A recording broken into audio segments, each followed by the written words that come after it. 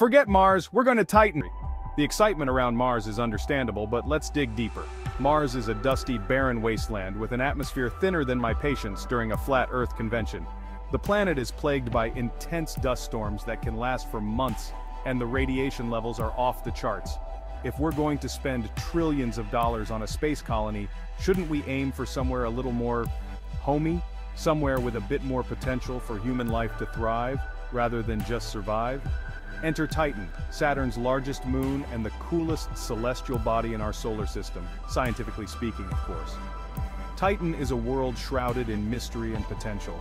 With its thick atmosphere and liquid methane lakes, it offers a unique environment that could be more suitable for human colonization.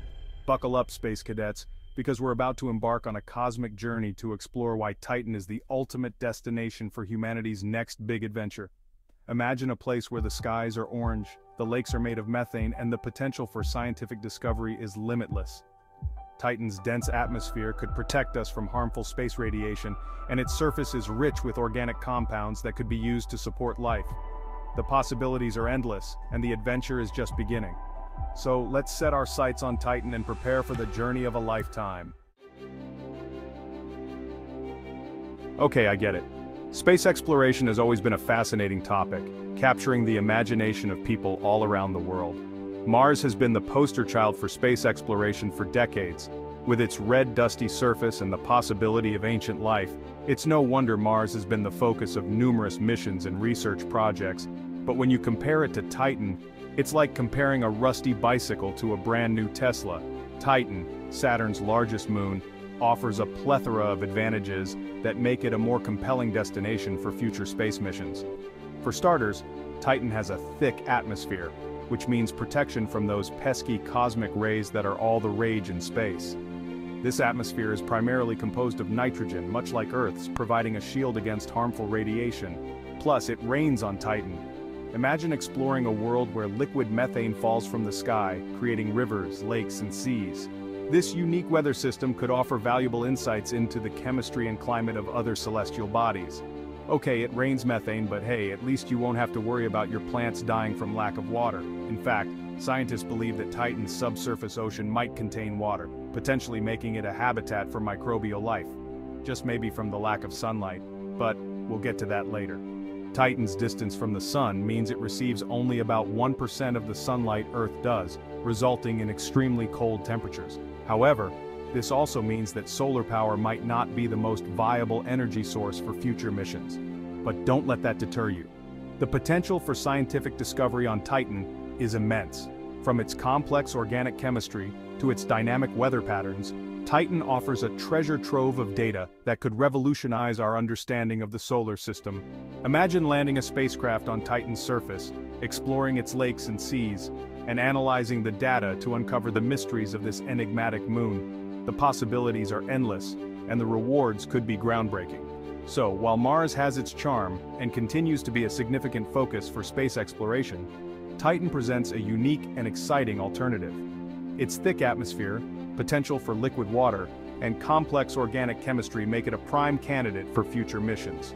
As we continue to push the boundaries of space exploration, Titan stands out as a beacon of possibility, offering a new frontier for scientific discovery and human exploration. The race to explore Titan is on, and the potential rewards are beyond our wildest dreams. Let's talk about Titan's atmosphere for a second. It's not exactly breathable by human standards, mostly because it's mostly nitrogen and methane. Think of it like this. Earth's atmosphere is like a delicious pizza with all the toppings, while Titan's is more like a plain cheese pizza. It's pizza, it'll keep you alive, but it's not exactly gourmet. The good news is, with a little bit of science magic and some really, really strong oxygen masks, we can totally make it work.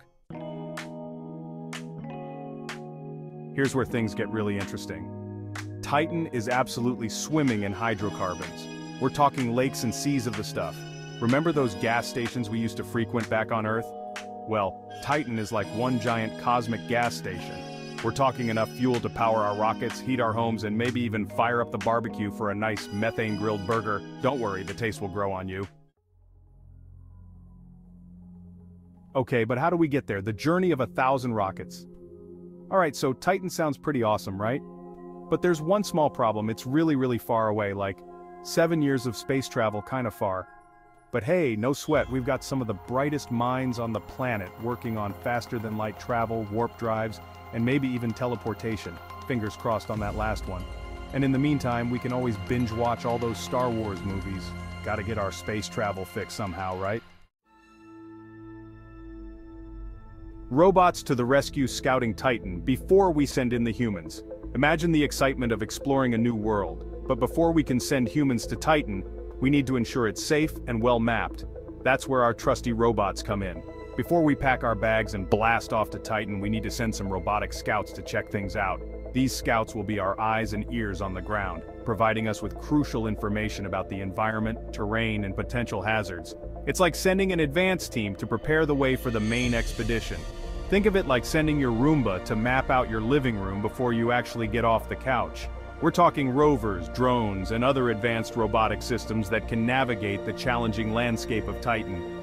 These machines will be equipped with state-of-the-art sensors and cameras to capture detailed images and data, and maybe even some underwater robots to explore those methane lakes, because who doesn't love a good underwater adventure? Titan's surface is covered with vast lakes of liquid methane and ethane, and these underwater robots will help us understand the composition and behavior of these alien bodies of liquid. These robots will gather valuable data, analyzing soil samples, atmospheric conditions, and even searching for signs of life. They will perform experiments that will give us insights into the chemical and physical properties of Titan's environment. This information is crucial for planning human missions and ensuring the safety of future astronauts. Build us some swanky prefab homes, creating habitats that can support human life. These structures will be designed to withstand the harsh conditions of Titan, providing a safe and comfortable living space for astronauts. The robots will use local materials to construct these habitats, reducing the need to transport building supplies from Earth, and maybe even set up a Wi-Fi network so we can finally catch up on our Netflix queue. Communication is key for any mission, and having a reliable network on Titan will allow us to stay connected with Earth, share data in real time, and even enjoy some entertainment during downtime. These technological advancements will make life on Titan not only possible but also enjoyable. Building a home away from home hydrocarbon habitats and methane mansions. So we've got the fuel, we've got the robots, now let's talk housing. Forget about those cramped inflatable habitats they're always showing in the movies. On Titan, we're building real houses, people. And by houses, I mean giant dome-shaped structures made entirely out of hydrocarbons. We're talking methane mansions, ethane estates, and maybe even a propane penthouse suite for yours truly. Gotta have that view, you know? Okay, let's address the elephant in the room, or should I say the methane-breathing alien on Titan. Food. Sure, we can pack enough freeze-dried ice cream and space ramen to last a few years, but eventually we're going to need some real sustenance. Luckily, Titan's nitrogen-rich atmosphere is perfect for growing all sorts of delicious fruits and vegetables. And who knows, maybe we'll even discover some new alien delicacies along the way. Titan-grown sushi, anyone? Now, let's talk about everyone's favorite topic, energy. Sure, we could always pack a few billion solar panels, but let's be real, the sun's a bit of a distant relative out by Saturn. Luckily, Titan has a few tricks up its sleeve. Remember all those hydrocarbons? Yeah, turns out they make pretty good fuel for nuclear fusion reactors. That's right, we're talking clean, limitless energy, baby. Take that, fossil fuels. Okay, so maybe colonizing Titan isn't all sunshine and methane rainbows, there are a few, shall we say, challenges. For starters, it's cold, like really cold. We're talking minus 179 degrees Celsius kinda cold. So pack your long johns, folks, and maybe a heated blanket or two. And then there's the whole gravity situation. Titan's gravity is about 14% of Earth's, which means we'll all be walking around like astronauts on the moon. Cue the slow-motion moonwalk montage. But hey, at least we'll be able to jump really high. So there you have it, folks. Titan the ultimate destination for humanity's next big adventure. It's got everything we need, a thick atmosphere, abundant resources, and enough space to finally escape our in-laws. Plus, it's got a pretty sweet name, don't you think? And who knows, maybe we'll even run into Thanos while we're there. Hopefully he's in a good mood. Either way, one thing's for sure, the future of humanity is out there, and it's looking pretty Titanic.